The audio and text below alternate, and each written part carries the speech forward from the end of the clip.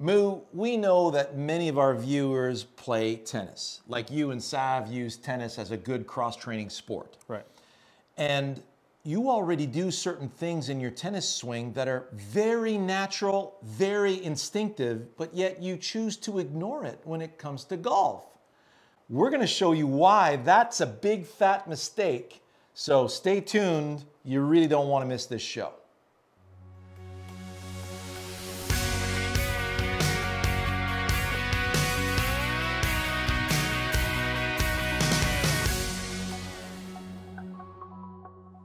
Right out of the gate, Menashe plays tennis with his right hand.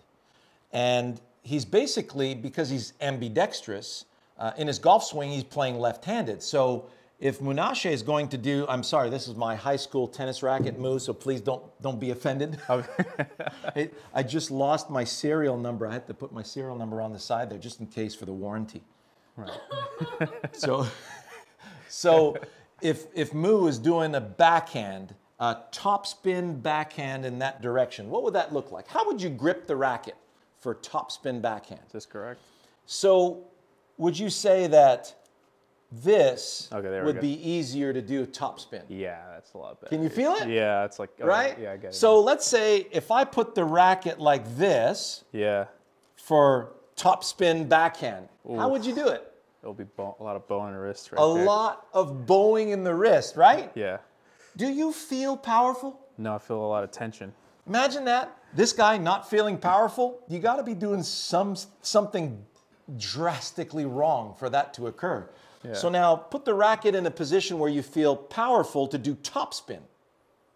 Look what he's doing. Look at that. That's exactly what we do. Yes. So now from there, you could just give it a nice.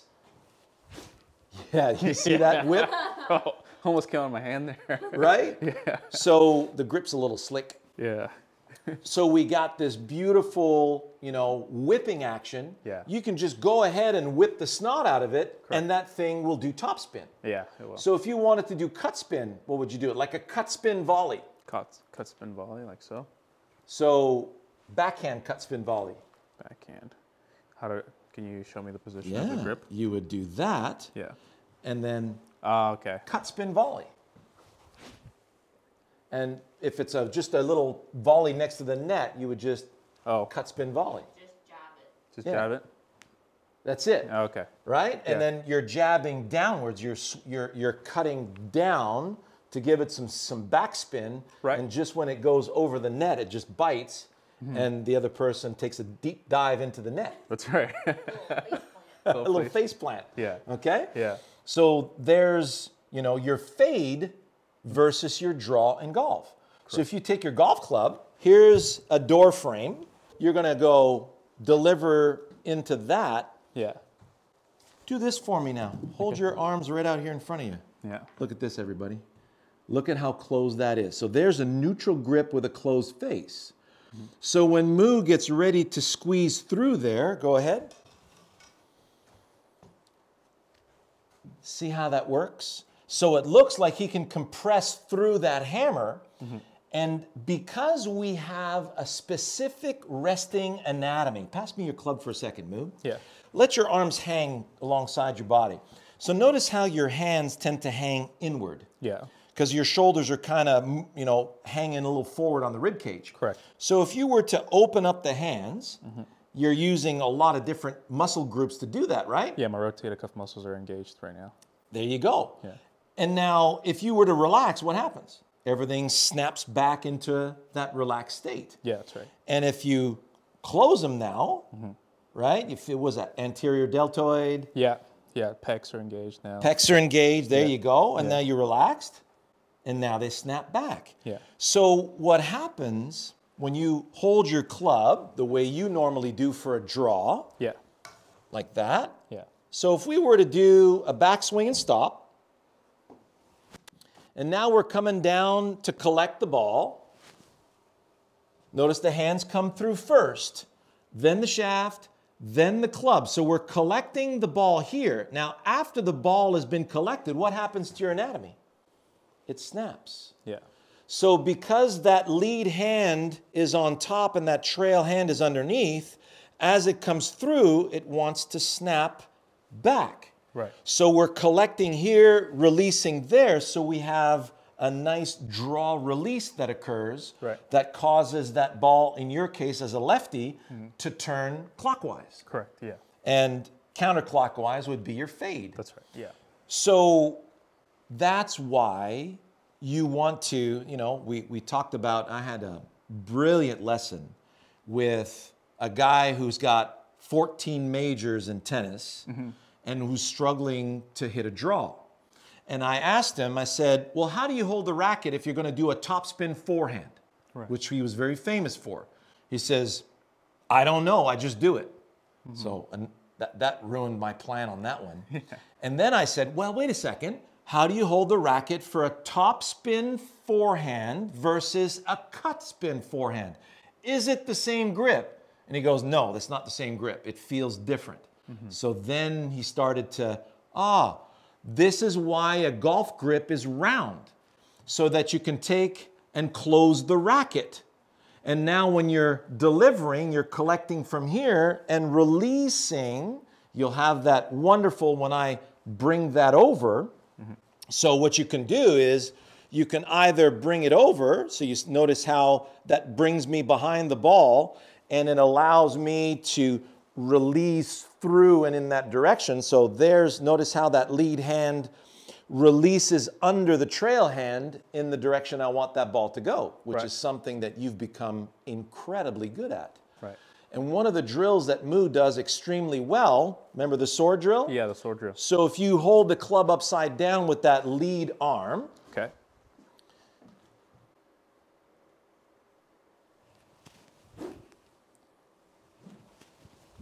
so if you do that towards the camera,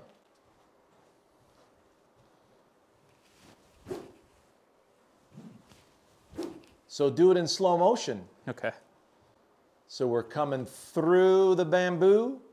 See how the hand leads? See how the, the it's internally rotated right now? Yeah. And then the shaft of the club releases and then it catches up. Yeah. So as it catches up, if you don't let that rotate, it'll break your wrist, won't it? Yeah. Well. Yeah. Big time. So now, especially with the speed moves at 150 miles per hour club speed now with the driver, you don't want to mess with that. You really have to let it go. Yeah. So if you do it with the trail hand now, Okay. do it in slow motion. Look at that. So notice how that elbow leads.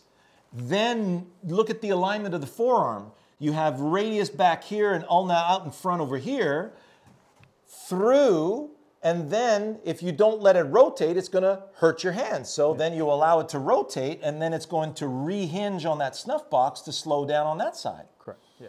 So you can see now how there's a wonderful synergy of both arms that you're already built for.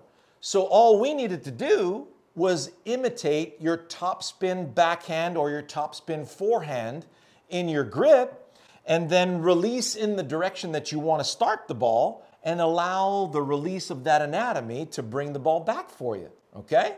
If you need some more help, take a look at a video entitled Working the Ball, Shawn Clement, and you'll see how we use a nice, you know, it's an oldie but goodie, and it shows you how to do fades and draws with the arc of the swing, where to put the ball on the arc, all the good stuff that you need to understand. And there's another one that I have is called Hit a Honkin' Draw to Hit Straight. You like that title, Sav? So that you understand how to blend the right amount of face closure to match the shot that you want to hit, It's important. right? Yeah. So let's have Mu hit a couple shots. So Mu, what club do you have? Pitching wedge here. For 170? Yeah. And there it goes. Started a little left, drawn back. It was toey. Oh yeah, just a, a little toey 175. So you can see, yeah, it was that looked really good. Approached it from the inside, right? Yeah, I did. So it's basically it's like you're you're taking a tennis ball and working it outside the line and drawing it back inside the yeah. line, yeah. right? Yeah. Let me confirm. It'd be pretty cool if we could spin a tennis ball that much. we go. That was good. Yeah, look at that. I had to I had to bring the pin back a little bit for Mu there. So that was 171 carry. Was that hit solid? Because it's, uh, it was okay. It Was okay? Let's Yeah. try it again. Oh, that sounded good, Mu. How did that feel? That felt good. Oh, look at that. I was through. 175 carry. I, I dropped the green back at 185 just in case because I knew that uh, he was coming. Yeah. So there's 175 carry on that. Yeah. And to me, I would have to hit seven iron. If I'm doing top spin forehand, I'm releasing down the line and going up through the shot. Same thing here. There's my line.